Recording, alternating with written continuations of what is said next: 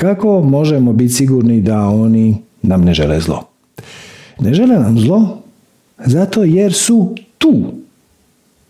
Dopustite da objasnim. Svemir je veliko, veliko mjesto. Svemir je ogroman. I putovat svemirom na način kako mi to danas zamišljamo, da sjedneš u svemirski brod i onda daš gas, je vrlo, vrlo neefikasno. Kaže Einstein, a po svemu sudeći potpuno je u pravu, najveća moguća brzina koju možete imati u svemiru je brzina svjetlosti. Odnosno, vi kao biće koji ipak ima neku masu, ne možete nikad dostići brzinu svjetlosti, ali možete doći teoretski jako, jako, jako, jako, jako blizu. Kad dođete na 99% brzine svjetlosti, događaju se još i na razni drugi čudni fenomeni, to su dilatacija vremena, prostora, o tome ćemo drugi put, to je sad malo bi bila prevelika digresija. Ali, nama najbliža zvijezda je Alfa Centauri.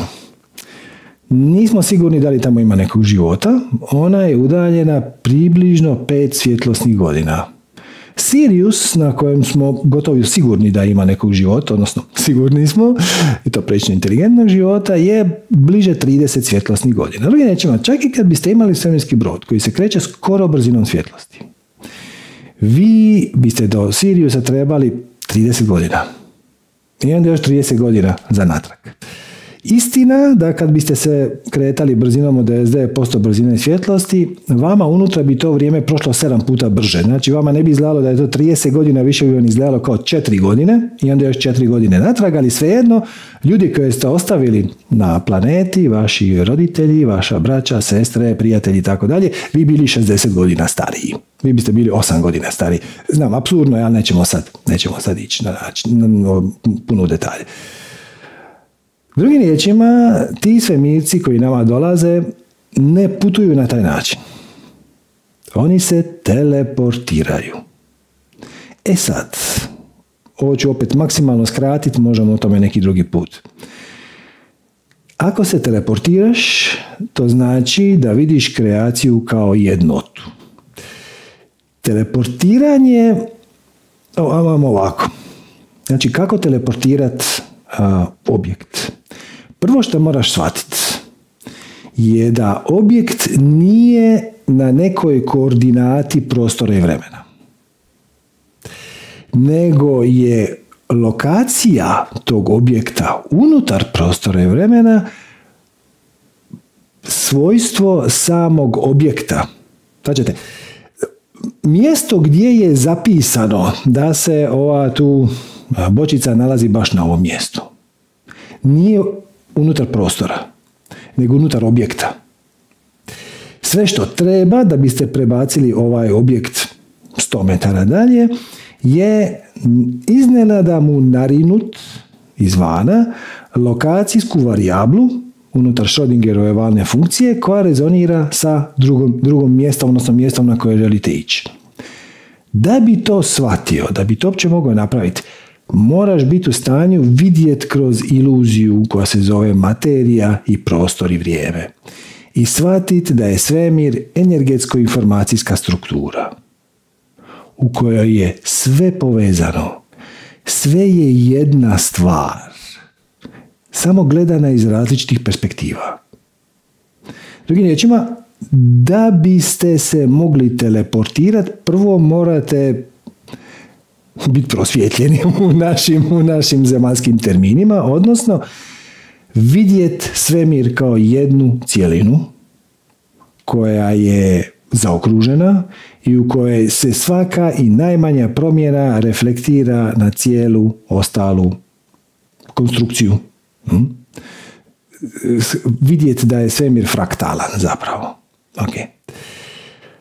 To je jedna stvar. Druga stvar, zašto možemo gotovo zajamčiti da oni nas ne dolaze porobiti, uništiti i tako dalje, je da opet po Einsteinu, ne gledajte mene, prostor i vrijeme nisu odvojeni entiteti. Ne postoji prostor koji je odvojen od vremena. Postoji samo jedna struktura koju je Einstein nazvao prostor vrijeme. Ne. Drugim riječima, ako su neka bića u stanju se teleportirati na način da promijene lokacijsku varijablu i odu u isti trenutak, praktički bez protoka vremena, na mjesto koje je udaljeno, nije važno, 100 metara ili 100 km ili 100 svjetlosnih godina, na potpuno isti način, koristeći potpuno isti pristup i potpuno istu tehnologiju, mogu otići na to drugo mjesto 100 godina unatrag, 100 godina unapred, milijun godina unatrag, milijun godina unapred. Riječima, da nas žele porobit, teleportirali bi se ovdje pred 300 godina. I našli bi nas sa lukovima, strijelama, primitivnim puškama i ono eventualno po nekim topom ili katapultom i to bi bilo dosta jednostavno. Međutim, oni to naravno neće napraviti. Zato što svačaju da je svaka promjena unutar svemira kompletna promjena.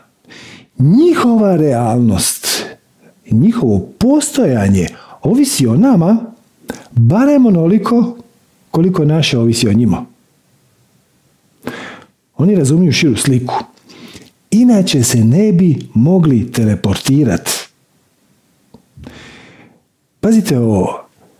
Kažu ti isti svemirci koji s nama ipak rado komuniciraju, da ćemo o tome kasnije, da postoje zle civilizacije koje ne razumiju da je svemir jednota. Ali ograničeni su na kretanje brzinom svjetlosti, što u praksi znači da zapravo ne mogu izaći iz svog solarnog sustava. Znači da mi imamo svemirske brodove s kojima možemo putovati blizu brzine svjetlosti, svakako bi mogli otići na Jupiter i na Saturn i na Neptun i na Pluton, ako je to još planeta, ovisi koga pitate. Do prve sljedeće zvijezde je teško, a do neke prve zanimljive zvijezde vrlo, vrlo teško. I opet sa vrlo upitnim efektom. Okay. Znači putovali bi do Siriju sa 30 godina, onda bi tamo se njima pozdravili, mahnuli, i onda bi putovali 30 godina natrag, mm, nije nešto. Tako da, kreacija je u svojoj bezgraničnoj mudrosti dizajnirala prostor i vrijeme na način da efikasno putovati kroz prostor i vrijeme možeš tek kad dosegneš prilično visoku razinu svijesti. Do tada si ograničen na svoje igralište koje je tvoj solarni sustav ili eventualno malo oko njega.